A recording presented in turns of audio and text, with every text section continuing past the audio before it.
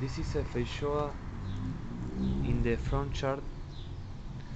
I want to know if these sprouts are different than different to these sprouts in the lower of the plant.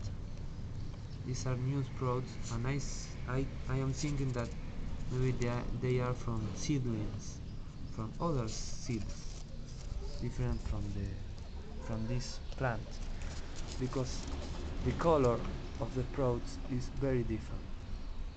You see this and this is very different. Lower part upper part lower part upper part.